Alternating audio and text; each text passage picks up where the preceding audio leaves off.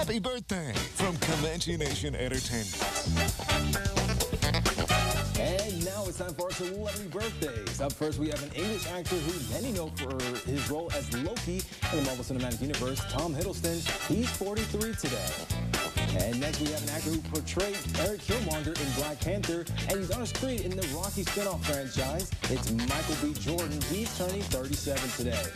And last is an actor known for his role as Charlie Keeley in the sitcom It's Always Sunny in Philadelphia. Charlie Day. He's 48. And if you want to take this part, yeah, because I know... at Texoma, we have a, a special flapjack birthday shout out to Kelly. Hope you're enjoying some pancakes this morning, and it is the weekend, so happy birthday to the following.